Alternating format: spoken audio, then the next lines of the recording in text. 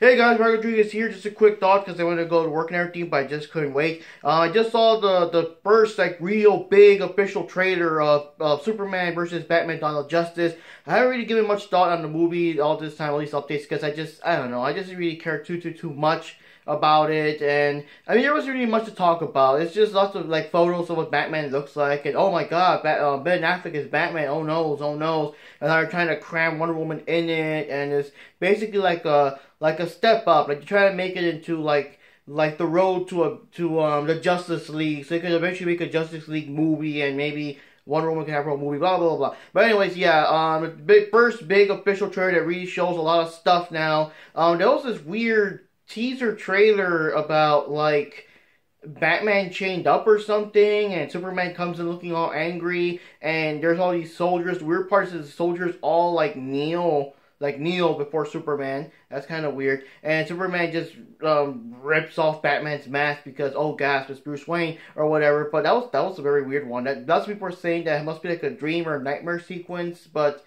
I think just the scene with the with the soldiers kneeling and everything, like if Superman was some kind of god or something, that that that um does make it look weird. Like it has to be like a weird nightmare or something, or just I don't know what the fuck's going on there. That's weird. But um, yeah. So basically, the trailer shows how Clark Kent and Bruce Wayne meet, and they're already kind of clashing because, of course, everyone hates the mysterious Bat vigilante that's taking the laws with his own hands or whatever. And the big news of the movie is that Lex Luthor's in it, and it's kind of weird because considering the fact that they're going with the older, kind of gray hairish Batman from Dark Knight Returns. Um, Lex Luthor looks very, very young. He has his long hair. Maybe they're doing it like like some of the older older 60s or 50s or comic books. There was one origin where where Lex Luthor had hair and for whatever reason some kind of accident made him lose it and since Superman was there he blamed Superman for it. So maybe they're doing that even though that is kind of hokey, especially since nowadays everyone wants to do it like all super serious. You know, nowadays in the modern comics Lex Luthor is more of a like an evil Bruce Wayne, evil Iron Man, multi-billionaire, you know, guy that runs a business, LexCorp. He's not the weird scientist dude from the older days, you know, but that's kind of weird though. And um, the second big thing is that it looks like, I guess, Luthor found um, General Zod's body spoiler for people haven't seen Man of Steel, how you know Superman snapped Zod's neck or whatever, and I guess he turned him into some kind of evil clone Doomsday wannabe. And near the end, as he's about to blast, I guess Batman in the Batmobile or something, um, Wonder Woman shows up and deflects the blast with her shield, and it is kind of funny how um Superman's like uh, with Batman, like you know, uh, she with you, and so Batman's like, I thought she was with you, you know. So it's like a big mystery and whatever. And I don't know, it's weird. It's weird. Um, I got no real like opinion in in regards of whatever. I mean, I'm just gonna take it for what it is. Okay, comic book wise, this is a comic book be damned they're really just doing whatever the fuck they want into it. Wonder Woman has no business in there if they wanted to do it like the Dark Knight Returns or whatever, because I don't believe she was even in that story. But it's all very weird. It's just weird. It's just weird. It's also weird that this is like it just jumped the gun. It was. I mean, Superman was gonna have his his normal sequel, I believe, before he started to throw Batman into it, and then like now they want to throw Wonder Woman into it, and, and you know it's it's weird. It's, it's like what people have been saying that DC just got jealous of the of how big the Avengers got, and are trying to rush it the fuck up to just get to Justice League, which which is kind of like I said, it's just rushy because like Marvel took their time with uh, Iron Man and Captain America, Thor, all their like separate movies before making the Avengers. They didn't just make Captain America with like all these random guys in it, and then all of a sudden the next movie's already Avengers. So I don't know what they're gonna do. And um, of course, the Suicide Squad um, also has like like apparently it's supposed to take place within this same universe, which is kind of weird because it makes me wonder. I've heard Batman will be in it.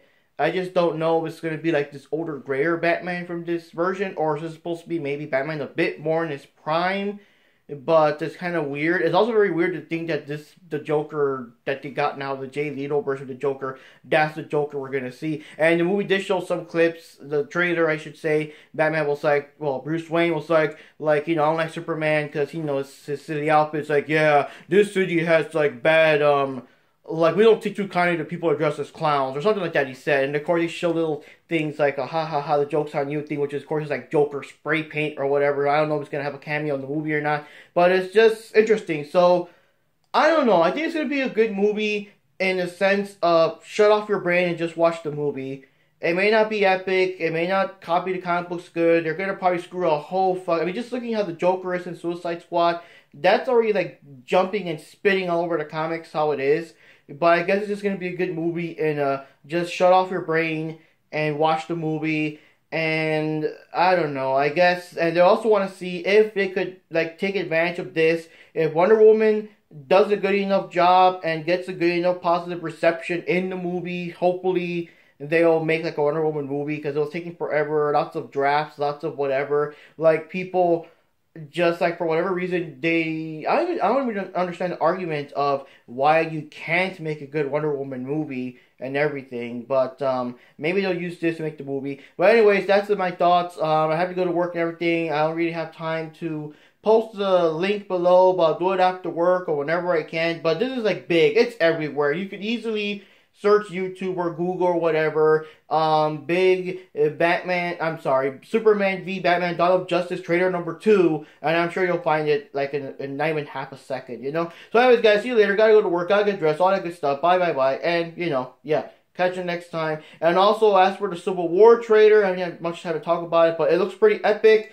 Um, it's kind of confusing because it looks like it's more about um, Captain America trying to save the Winter Soldier from everyone trying to get after him, and I guess this this leads to the big, um, you know, disagreements between Captain America and Iron Man and, and everything. There was this, at least there was this one scene where people were talking about how Captain America is, is considered a vigilante and hanging on papers and stuff. I mean, that might be the only hint I see in the trailer that it might actually still be about the Superhero Registration Act like the original Civil War comic book was about. But so far, it does look like the real big focus is more on like everyone cracking down on the Winter Soldier and um, Captain America trying to like save him because he's his friend, like no matter what, even if he has to go against Iron Man and possibly other Avengers uh, members to go with it. But yeah, so anyways, guys, um, see you all later. It's pretty cool. I'll put the links below whenever I can, and off to work I go. See ya.